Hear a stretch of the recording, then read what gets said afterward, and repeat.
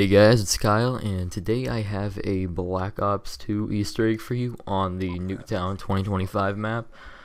So uh, this is pretty similar to the Black Ops Easter egg, where if you shoot all the heads and the mannequin off, or the mannequins off, you get a or a song plays, I believe it is. I didn't really do it on that game, but I'm pretty sure that's what happens.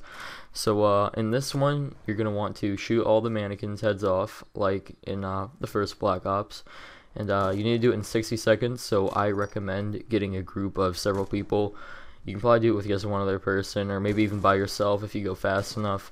But uh, if you have other people if you have like three or four people total it'd probably work best like that. You need to do it in 60 seconds so all the people that you can get helps.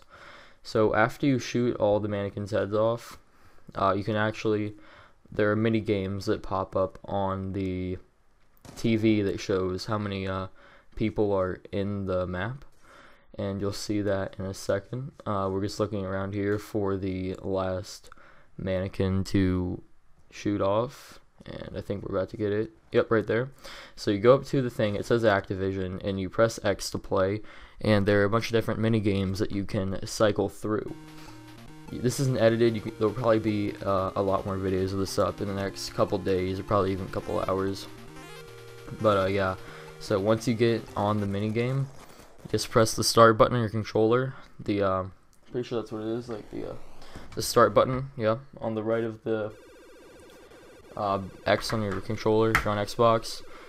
And there's like four different mini games, I think. I really have no idea how to play them. I did terrible on them. But um, yeah, that's pretty much it. Thanks for watching, guys, and try out this Easter egg for yourself.